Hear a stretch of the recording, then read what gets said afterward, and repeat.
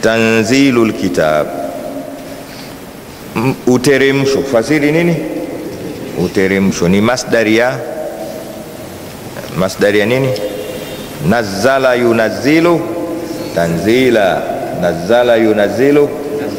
Eh, kwa hiyo Mungu ameiteremsha kuiteremsha.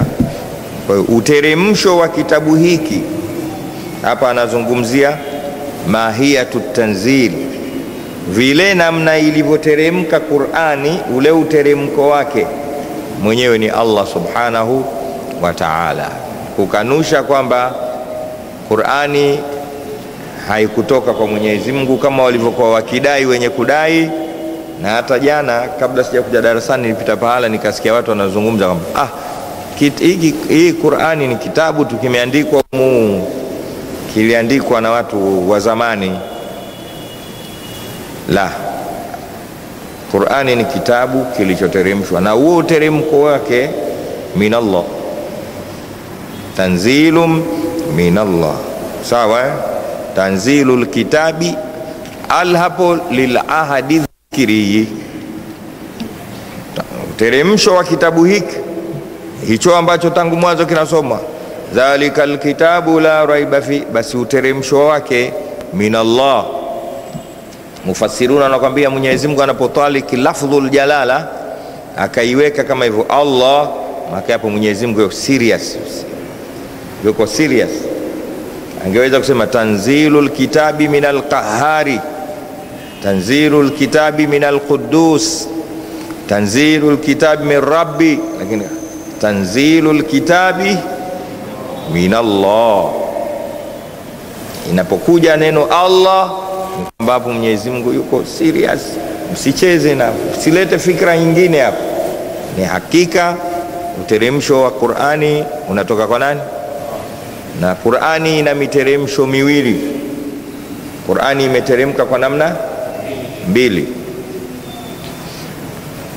Kuna mteremko kutoka Lauhul Mahfudh kuja katika Baitul Maamuri ila samai dunia, ule mteremsho wa mwanzo.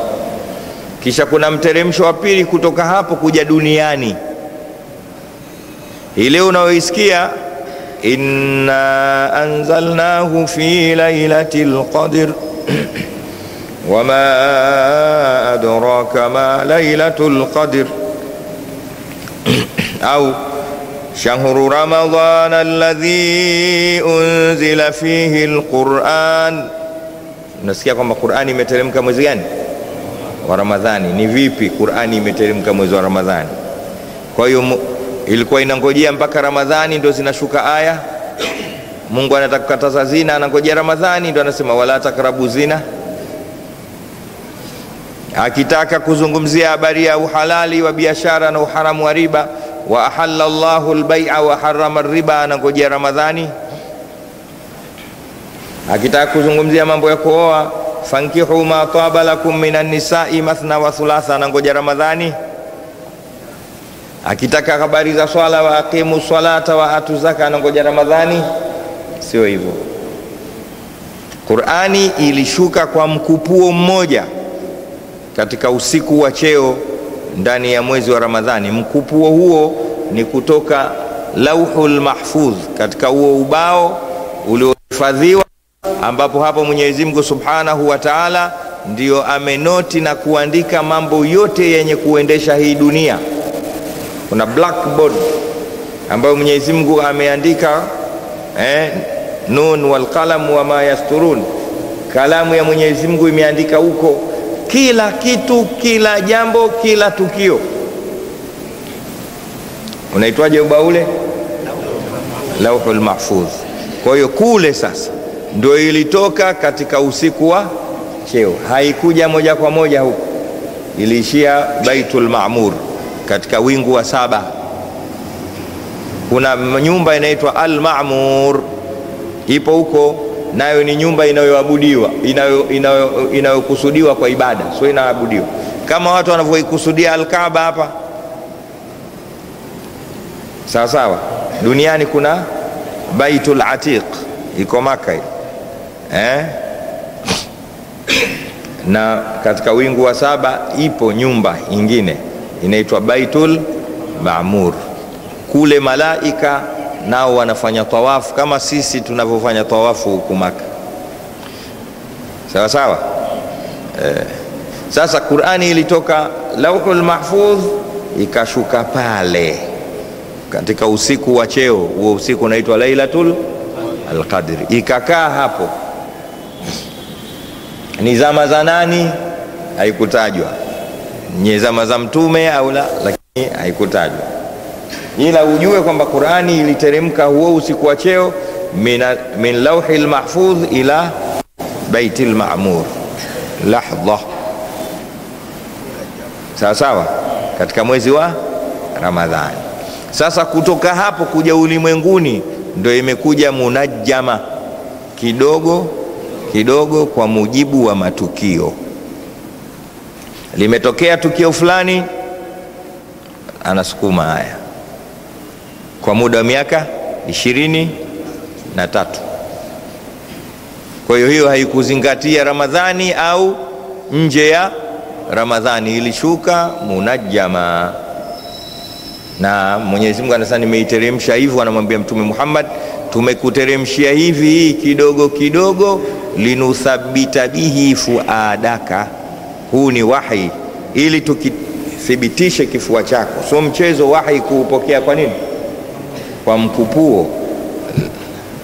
Sawa, lau anzalna hadha alqur'ana ala la raaitahu e mutasaddian min khashyati jabali lau ingeteremshwa Qur'ani kwa mkupuo, mlima mkubwa kama vile Everest au ile milima ya Kilimanjaro ingepasuka. Je, Muhammad? Sawa sawa. Mm.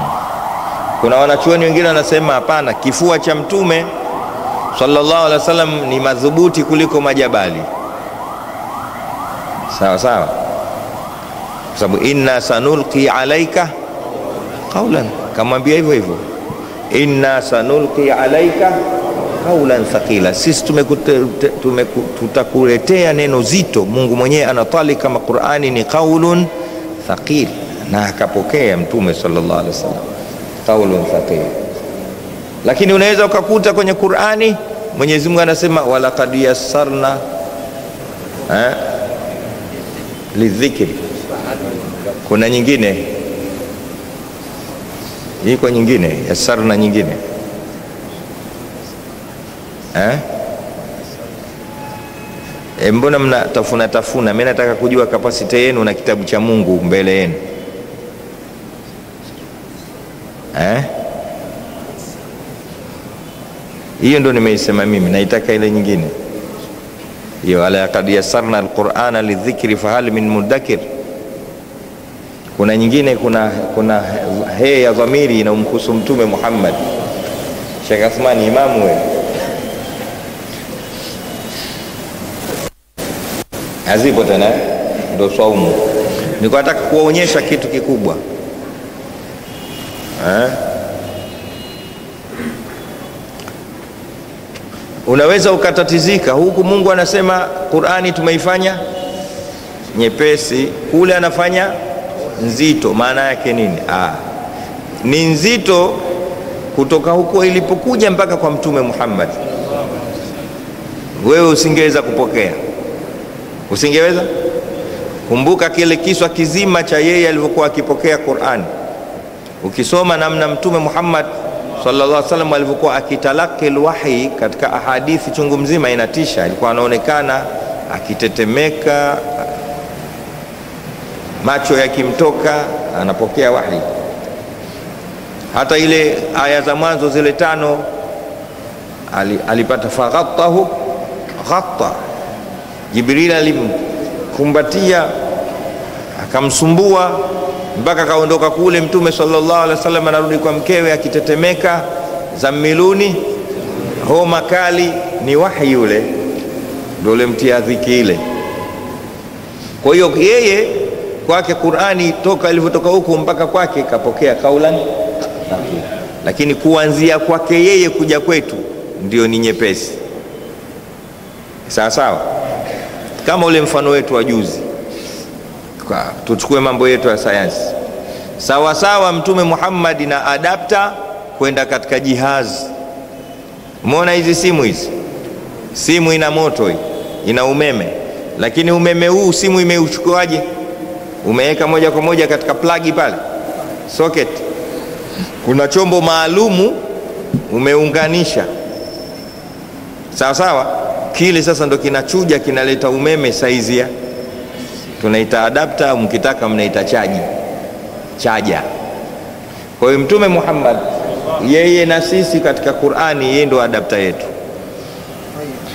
Tumeelewa naye Wewe na mimi tusingeweza kuipokea. Na ukitaka kujua, tizama tu, hata sasa hivi ukienda kupambana na mwalimu madrasa juu ya Qur'ani, wakati unaisoma Qur'ani mara ya kwanza unaionaje?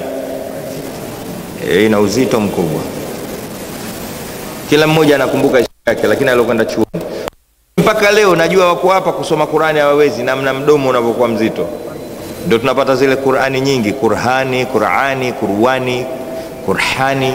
nategemea wewe unaanzaje. Alhamdulillahi rabbil alamin, hiyo Qur'ani. Alhamdulillahi rabbil alamin arrahmani rahim, aini tupu, hiyo Qur'ani. Uzito, napokeaje Qur'ani?